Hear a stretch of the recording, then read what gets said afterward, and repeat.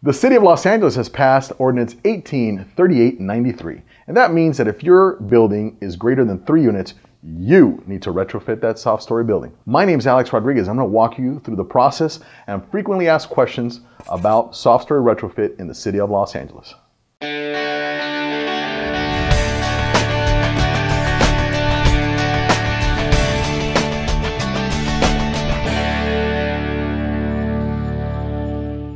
You may be wondering, what is a soft story building? A soft story building is a multi-level building that has ground parking underneath the structure, and it's elevated. You may have recognized it if it looks like this. These buildings are made out of wood and they were built prior to January 1st, 1978. So if your building falls in those criteria, it's a soft story building. You may be wondering why this law was enacted. And the reason is that soft story buildings in an earthquake can fail and cause major damage or even death to the occupants. This is what can happen to a soft story building during an earthquake.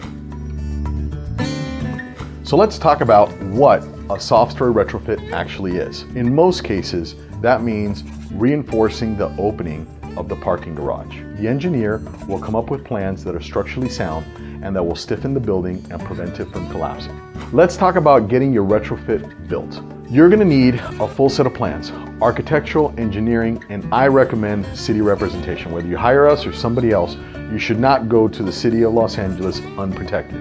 Your plans are gonna have to be presented to the city planners, planning department, and building and safety. It's gonna get reviewed. Hopefully it'll get passed right away, and then you can move on to getting your construction started. Now, before you start construction, you need to know what it's gonna cost.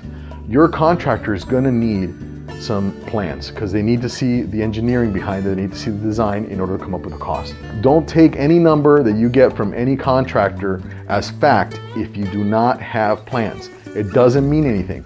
An estimate, a ballpark, none of that stuff is gonna help you. You need an actual set of plans in order to get a real price. Okay, it's very important, don't forget that. Typically speaking, this is a very disruptive construction, okay?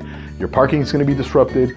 If you have water lines, sewer lines that are in the way, those are gonna have to be moved. You may have to pay the tenants to move out. It's a little tricky, okay? So you have to have somebody that, that a contractor, when I say somebody, you're gonna have to have a contractor that's good at planning, that can map out the timeline of the construction and can help you through that process. At our offices, when you hire us, it's a turnkey deal. We'll do the architectural, the engineering, the city representation, We'll help you with a, a checklist of notices that you got to give the tenants, and we'll put together an entire construction schedule so you know how long it's to take and you know what's to be done on each particular date of the schedule.